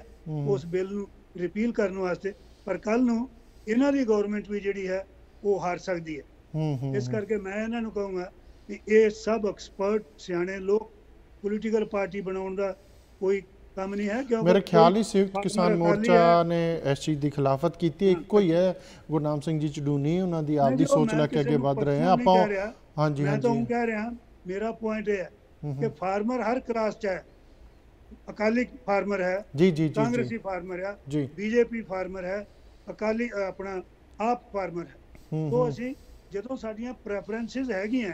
ਉਹ ਸਾਡੀਆਂ ਪੋਲੀਟੀਕਲ ਹੈ ਦੇ। Should not be mixed with our agenda ਹੂੰ। ਸਾਡਾ ਸੰਗਠਨ ਸਟਰੋਂਗ ਹੋ ਕੇ ਅਸੀਂ ਜਿਹੜੇ ਆਪਣੇ ਜਿਹੜੇ ਪੁਆਇੰਟ ਹੈ ਉਹ ਸਮੇਂ ਤੋਂ ਸਮੇਂ ਗਵਰਨਮੈਂਟ ਦੇ ਨਾਲ ਕਰਦੇ ਰਹੀਏ ਸਾਰੇ ਦੁਨੀਆ ਦੇ ਲੋਕ ਹੀ ਆਪਣੀ ਗਵਰਨਮੈਂਟ ਦੇ ਅਗੇਂਸਟ ਆਪਣੇ ਹੱਕ ਲੈਣ ਵਾਸਤੇ ਥੋੜਾ ਬਹੁਤ ਐਫਰਟ ਕਰਨਾ ਹੀ ਪੈਂਦਾ ਹੈ। ਜੀ ਬਾਜਵਾ ਸਾਹਿਬ, ਗੱਲਾਂ ਬਹੁਤ ਨੇ ਹੱਲੇ ਹੱਲੇ ਗੱਲਾਂ ਬਹੁਤ ਨੇ ਜੇ ਆਪਾਂ ਡੀਟੇਲ ਜਾਈਏ, ਪਰ ਅੱਜ ਵਕਤ ਇਜਾਜ਼ਤ ਨਹੀਂ ਦੇ ਰਿਹਾ। ਤੁਸੀਂ ਟਾਈਮ ਕੱਢਿਆ, ਬਹੁਤ ਸੋਹਣਾ ਐਲੈਬੋਰੇਟ ਐਲੈਬੋਰੇਟ ਕੀਤਾ। ਤੁਹਾਡਾ ਬਹੁਤ ਬਹੁਤ ਧੰਨਵਾਦ। ਆਪਣਾ ਪੂਰਾ ਖਿਆਲ ਰੱਖਣਾ। ਧੰਨਵਾਦ ਅਗੇਨ ਡਾਕਟਰ ਸਾਹਿਬ ਤੁਹਾਡਾ। ਹਾਂਜੀ, ਸਤਿ ਸ੍ਰੀ ਅਕਾਲ ਜੀ ਗੁਰਲਾਲ ਜੀ। ਤੁਹਾਨੂੰ ਵੀ, ਤੁਹਾਡੇ ਸਭ ਦਰਸ਼ਕਾਂ ਨੂੰ। ਜੀ ਜੀ। ਅ, ਦਰਸ਼ਕੋ ਇਹ ਸਨ ਡਾਕਟਰ ਇਸ਼ਪਾਲ ਸਿੰਘ ਬਾਜਵਾ ਬਹੁਤ ਸੋਹਣਾ ਐਲੈਬੋਰੇਟ ਕੀਤਾ। ਹੋਰ ਆਪਾਂ ਡੀਟੇਲ 'ਚ ਜਾਵਾਂਗੇ ਇੱਕ ਦੋ ਹਫ਼ਤਿਆਂ ਤਾਈਂ। ਬਹੁਤ ਡੀਟੇਲ 'ਚ ਜਾ ਕੇ ਤੁਹਾਡੇ ਸਾਹਮਣੇ ਇਹ ਚੀਜ਼ ਰੱਖਾਂਗੇ। ਅੱਜ ਵਕਤ ਇਜਾਜ਼ਤ ਨਹੀਂ ਦੇ ਰਿਹਾ ਆਪਣਾ ਪੂਰਾ ਖਿਆਲ ਰੱਖਣਾ। ਮੈਨੂੰ ਗੁਰਲਾਲ ਨੂੰ ਦਿਓ ਇਜਾਜ਼ਤ। ਮੇਰੇ ਵੱਲੋਂ ਤੁਹਾਨੂੰ ਸਾਰਿਆਂ ਨੂੰ ਪਿਆਰ ਭਰੀ ਸਤਿ ਸ਼੍ਰੀ ਅਕਾਲ।